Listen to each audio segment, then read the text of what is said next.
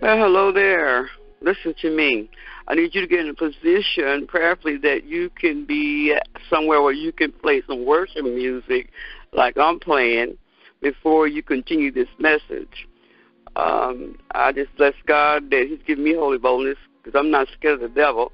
But I do believe that we can open gateways uh, of hell if we're not prepared. So I got prayed up before I got on here, and then I'm playing Daffy P. Keys' uh, Hope and Healing uh, instrumental so that I can make sure that the words that I am speaking over this call that those things will continue to be dispelled and I believe that Holy Spirit is resting and ruling in here. But this is what I'm saying to you. We're in an hour right now. As you can see the topic that I'm talking about here with this uh, demonic clown uh, called Pennywise. Okay, and I feel this is a good time for me to release this information to you and that you do your own research because I'm only going to give you an overview and I want you to look at one site that um, I really was moved by and, you know, and really, really praying about, and that one is called uh, TVOvermind.com. Now, what you need to know if you are a parent or grandparent that's listening to me, this clown, and I can see why I never really liked clowns, okay? You know, and they look like they look like they would be kind of humorous and stuff like that. But it was something about the clown that I never really liked. I don't understand that, but I believe maybe the Holy Spirit that's always been, you know, big in me. But it was something about the clown. But anyway, this thing that uh called Pennywise. Okay, isn't that a name that you can think about that they had to find an intriguing way? Uh, that that Stephen King guy, I tell you, he he really, really must have been really deep down into all type of cult and demonic stuff. But Pennywise, our kids, parents are giving these kids these uh machines and these what you call these uh what you call them these um these phones and stuff like that for them to have these toys to keep them quiet or whatever.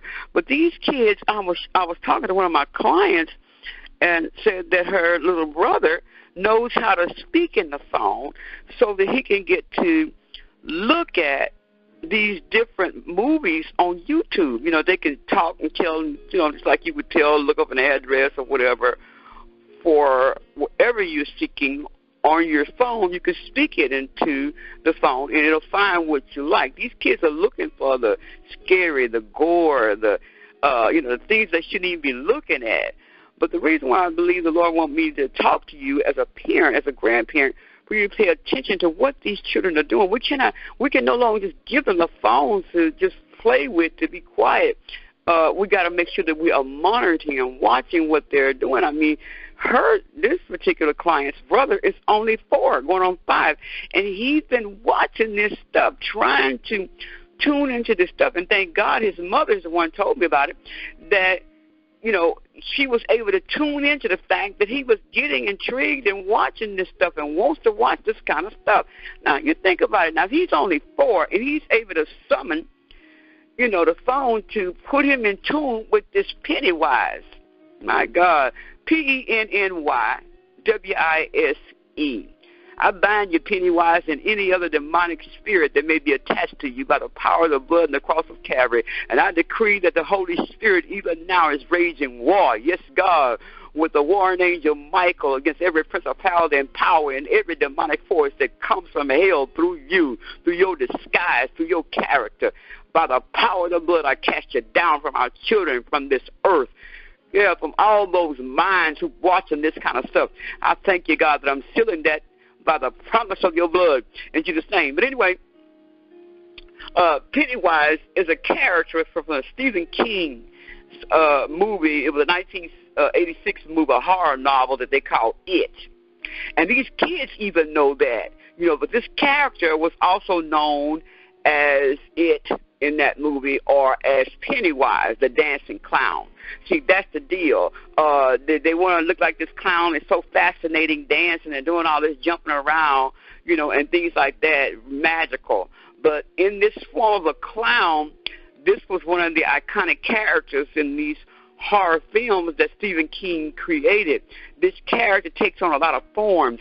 If you think about, it, they have these games out now where they can look in this like a, a 3D type of movie screen. And when they look in it, everything in its mama begin to change.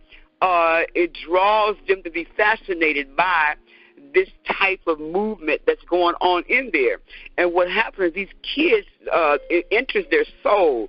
And many parents don't realize that these characters, what the Pennywise clown does uh, in this movie, it was supposed to take on all these different forms. I mean, it, it may be a snake, and depending on, I guess, the strength of, uh, I guess, of what is done to you, uh, the way you're, the child or the individual is receiving it, uh, your weakness or your strength, it'll turn into something else, okay?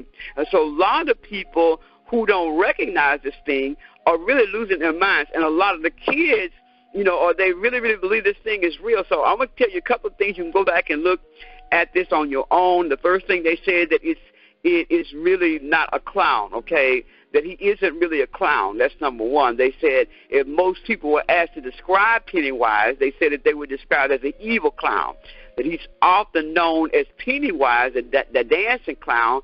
They say, but this character is really not a clown at all he's actually an evil, shape shifting entity, which means that they say he pretends to be one thing and then he turns into something else after he's captured, I guess, the person's mind to really focus on, you know, the fact that they are a clown or that they are having all these magical things that they're doing. Then number two, they said that Pennywise come from the deadlights. I thought this was really, really something because it was a blood type of movement that this thing was doing. It originated. They said it originally originated from this alternative like universe called deadlights. Okay, they said that these deadlights would look you look upon them or anybody that would see these deadlights that they would instantly go insane.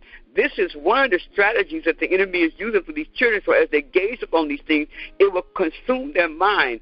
The ultimate goal is to destroy the child's mind. Now they say that that they thought a lot of different people who actually believe that this particular uh, clown that they call Pennywise was created by somebody named or inspired by somebody named John Gacy.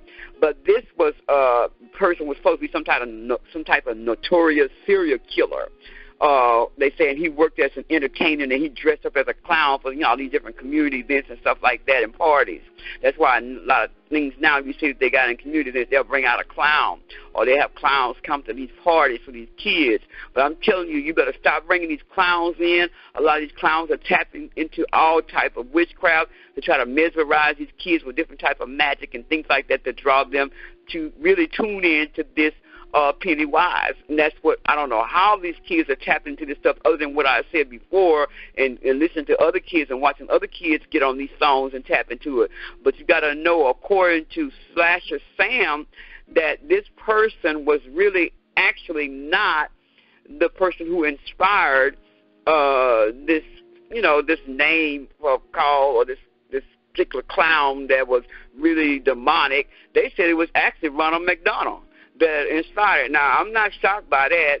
Ronald McDonald. That's why I guess why a lot of kids want to go to a McDonald restaurant. But we got to know that Stephen King is the one, along with Ronald McDonald, that was supposed to be the true inspiration of this particular clown. Okay, but we got to make sure that we look at these issues even with Bozo the clown. They said, and it comes from Howdy Doody, that little cartoon and all that stuff. But we need to make sure that we're paying attention as parents. Number four, they said it has two weaknesses. This is a very, very key part right here. It says that Pennywise has two weaknesses, and those who can see him need to know what it is to overcome this terrifying entity. Number one, I told you it was a blood disguising, okay? And it says that these two fears of it means that it is of this courage uh, and heart, okay, of it courage and heart. In the, in the heart and the courage. Uh, and it says that in these films, the characters survive uh, are those who have shown both of these traits. What they do, they try to see if you have a courageous heart or if you're afraid, and they see which one they got to either make you strong or make you weaken to their benefit, that evil benefit. Pennywise, they said, is older than the universe. Matter of fact, they say it was a hard concept but Pennywise is older than the universe, which means this thing has been around for a long time. They also said that in the books, it is explained that Pennywise existed before the Big Bang, okay, and that he went into a state of uh, hibernation when he landed on Earth. All this stuff is so gory, so uh, how they say in the times that we didn't even think about nothing like this crazy myth that let you know that it's so demonic. The ultimate goal is to destroy, destroy the generation that's coming up, so they continue to kill and want to get guns and want to shed blood. We got to pay close attention for such a time as this. We've got parents who are trying to go and get these clown outfits, these Pennywise clown for women and uh, boys and girls, and even adults are getting these Pennywise uh, outfits to wear and don't know the demonic connotations that go with them. They said in number six that he has these superpowers. And I think that's one of the other reasons why these kids get connected because it appears that because this clown do all these things that's fun and looking and all that and, and can do all this magical stuff, uh, they say that these uh, powers, the main superpower is that he is a shape shifter. I said it early on that he manifests in forms of something that uh, they say his victim fears.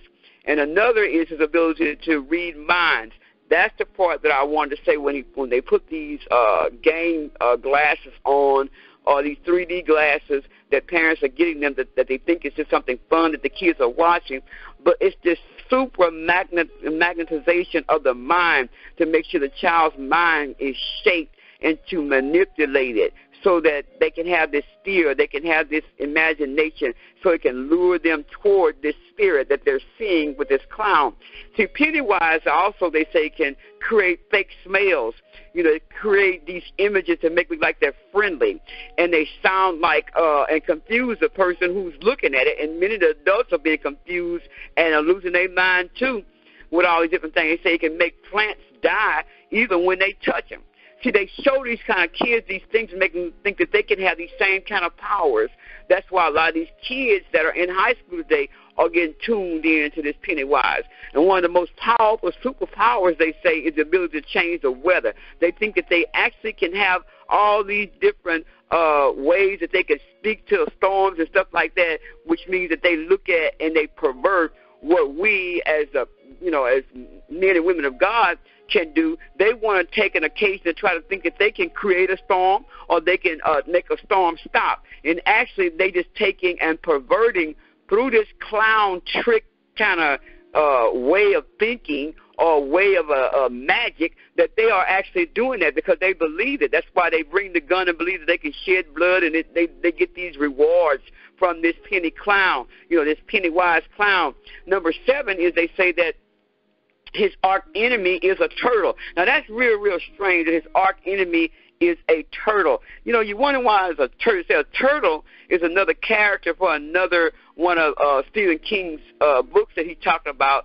This uh, he being this arch enemy of this clown. So the character from this ancient uh, movie or whatever you want to call it says that uh, this horrible, this horrible kind of feature, I guess, that this clown has is like something that causes the, that uh, this causes this clown to have this other battle against this thing that maybe this creature or whatever is trying to consume them. So they have this other power this other strength. I really don't know how that part of it go but i know that they they really don't have any relation don't want no relation with no turtle. And i don't know what that is. Maybe because they move slow. I don't know but the eighth thing they say it also appears in Tommyknockers. Now I don't know what Tommyknockers is, but they say Tommyknockers. They said Pennywise appeared in that book called Tommyknockers. I don't know what it is, but in this book, they said one of the characters is traveling through Derry, Maine, and when he sees Pennywise in this in, in this storm drain, who you can see how wicked this is.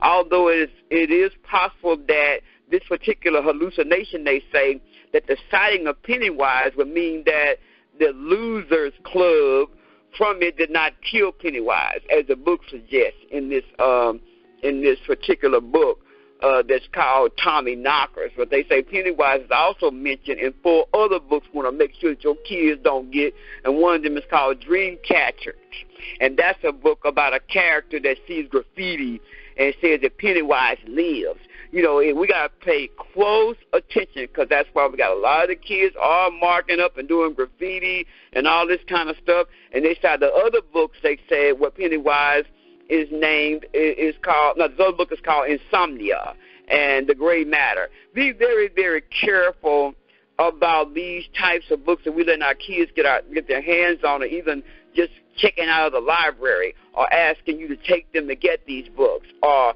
someone buy them the book because they mentioned it to them. Don't let that stuff live, live in your house. Don't let those kids even get a chance to even pick it up. Just the very thought of it should taint your very, you know, hands from wanting to be tainting your child's hands. You know, so that means you want to make sure that it's an unclean thing in your house and you will not allow it there. And then Pennywise, they say it's not dead. Okay, this is why so many of them are doing what they want to do in this last day because somebody's saying that they see Pennywise, okay, that he's actually not dead because of stuff that they're reading and these things that they're seeing. People watch these things on these movies and they really try to relive them or let them live in their life. That's what these children are just doing. See, these children see these things on TV and they see all these things, and so they believe that the intentions of it for them to see what's going to happen in the future for them with these uh, with these uh I guess you want to call cartoon demons, as far as I'm concerned. And they say that the three actors have played Pennywise, that there are three of them. Pennywise, they say, has been portrayed by these three actors. One of the actors was Tim Curry, they say in the 1990 television adaptation of the book. And then that role uh, then was taken on by, I think, Lilliput for the 1998 television adaptation. And then finally, they say Bill Skarsgård had mostly played the role of Pennywise in the 2017 film adaptation. So you can see that this spirit is still trying to run rapid. We got to make sure that we don't go to the movie, we don't entertain nothing about it, and most definitely watch these kids with these videos. And then they said uh, that this um, Pennywise reappears at intervals of between 25 and 30 years. Now, this is the thing that we got to be very, very careful about.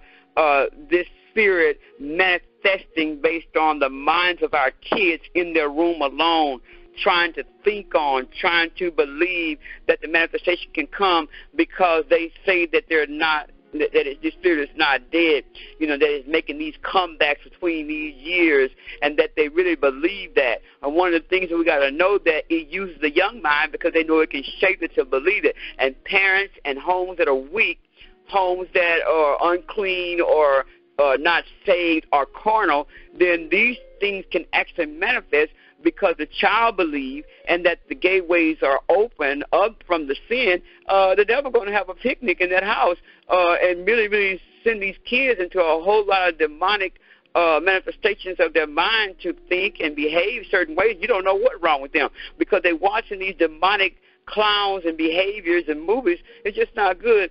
And then it says that. Uh, that this uh, Pennywise has many names.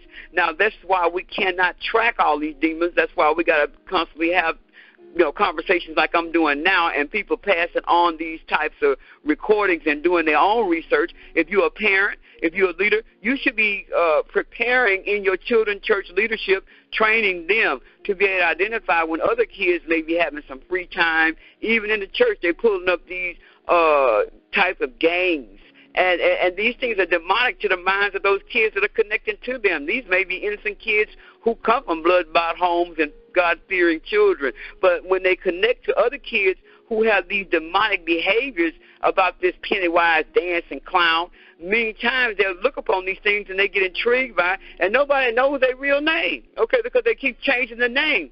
These things these characters, many times, they have from one book to the next, they give different names. And many of these names, they have characters throughout these storylines that are all demonic, but they change, just like the spirit upon this clown. It's forever changing. It's, a, it's forever trying to become something different so you can't call yourself trying to bind or loose it or kill it.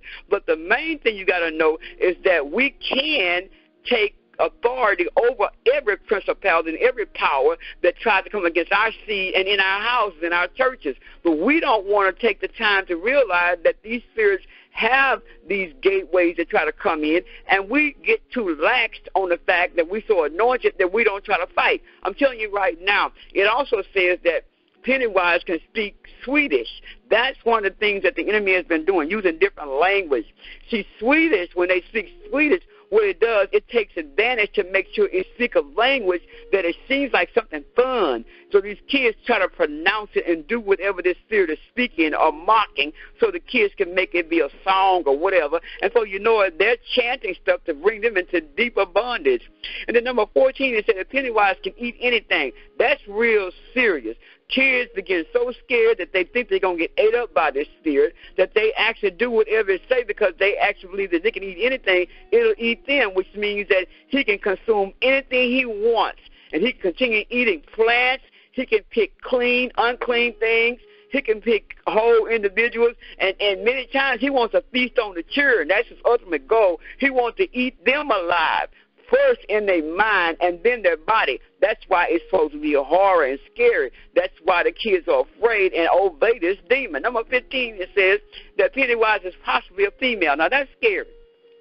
That Pennywise might be a female, which means that many of the kids today are running from something that are so closely knitted to the one who's mostly scary. That is a female. We will holler and be scared more quicker than boys. But now, because of the power that this enemy is using, it appears as though it's some type of large person, and then it'll, before you know it, it appears a large spider-like creature, okay, that was in this particular, or at the end of the story that they was telling about Pennywise. They just take on all these many forms. And the theory about the fact that it may be female and that this, this female in this uh, spirit that tries to show itself in Pennywise that might be female, it is not only just a female, but it also shows that it's pregnant. Okay, so whether it's a spider, whether it's a male, or whatever, because it shifts its forms all the time, it may appear as a male, and then it may appear as a female. It may appear that this uh, funny looking clown now is pregnant. So that means now more spirits are coming.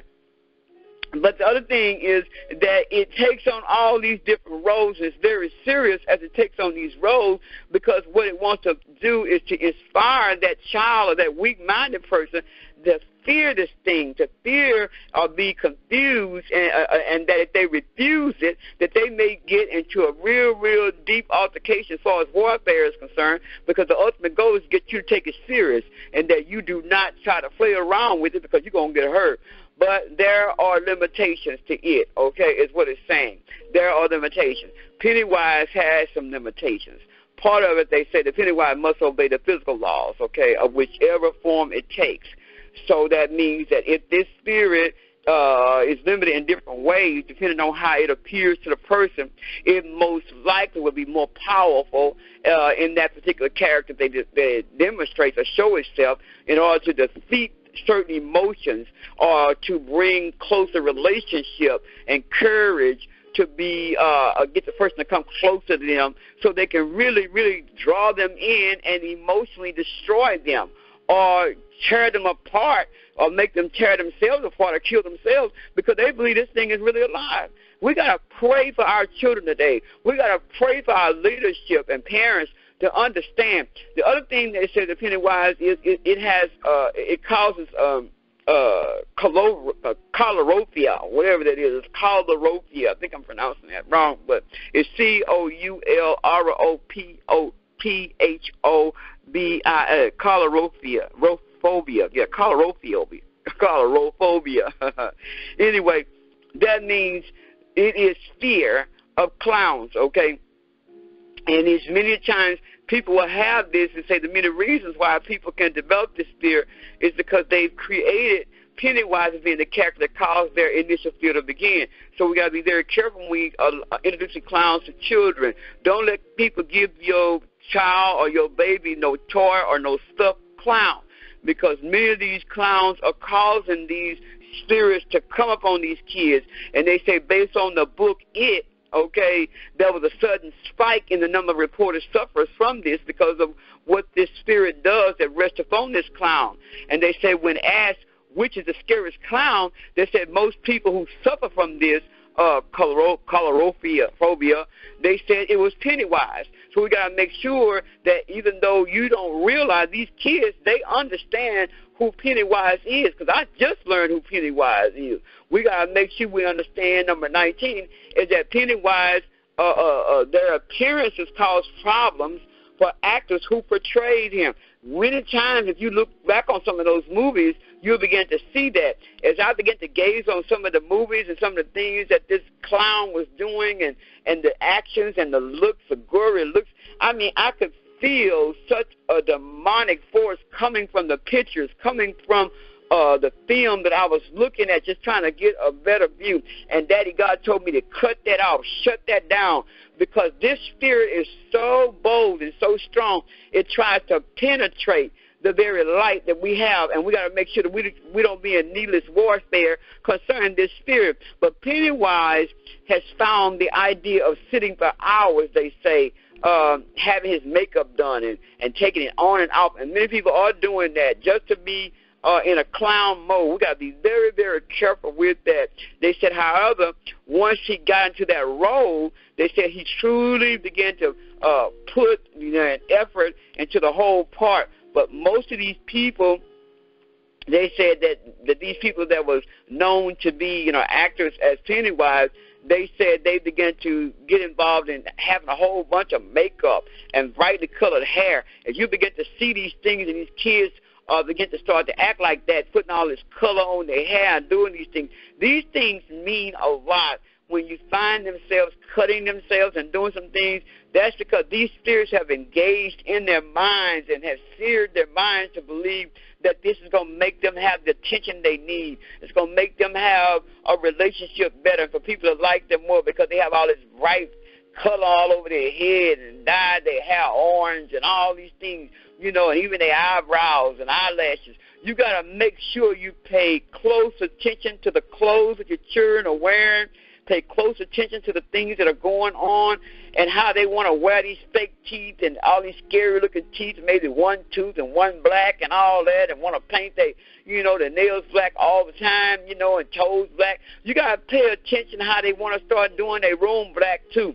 The main problem is that they made this evil thing worse and worse as it got, you know, in our families from watching and we allowing these kids to get involved in these type of movies and without us trying to gauge what they're going to the movie to see and who's taking them. So Pennywise, they say, took over a whole new form in 29, no, 2017. They said that because this particular clown had become this type of shapeshifter, Pennywise began to appear in all these books and all these different uh, movies and stuff like that to the point that people do not realize that some of these figures and things that these kids are seeing, they don't have heads, or either they have a head and don't have a body. You know, they start seeing these shadows. They start seeing these women in paintings that look like what they saw, or men in these paintings. They start seeing people who was all infected and marred up and cut up and with things, knives through their body and stuff like that. We got to know this is not of God. These are not things that just supposed to be something simple and, and, and fun and scary. You know, we as adults, I know when I was growing up, I liked it looking at all that scary stuff. But now, we're in the hour right now, we got to make sure that we keep our eye gate pure so that it can really, really get us to see what is going on in the spiritual realm concerning our children, concerning our house, what in the world are we doing? What in the world are you doing to help your grandchild, to help your, you know, your your teenagers to be able to watch even those adults that's coming in your house, wanting to watch these kind of movies and want to entertain people, you know, who want to do these type of clown activities and things like that. I'm just done here. I just wanted to bring this message out, especially because it's Halloween coming up. I don't want to call it Hallow. I want to call it Halloween because Halloween is coming up, and we got to fight with every fiber of our being that we got to make sure that we watch, fast, pray, and discern the hell that's trying to come in our house and to take again I mean come against those deceptive spirits that they're coming through toys and coming through movies and coming through games, these hand games, these different 3D eyeglasses and things like that and games that they play on the TV. We got to watch fast and pray and take authority over them and don't care how much they cry that they want that game back and don't care how much they cry that, that it's just a game. No, you to take authority before they take over their minds and then there you go trying to cast the demon out and the doctor can't find what's wrong with them because they got demons inside their minds and have taken over their bodies. I got to go. I pray this has helped you. Please help somebody else by delivering this message. Help some family, help some mother, help some grandmother who's taking over some some some daughter, some child uh, child, they don't know what to do. Let them hear this message so they can begin to see. You can't just keep giving these kids these toys no more and going on about your business. You better watch, fast, and pray and fight. I love you in the Lord.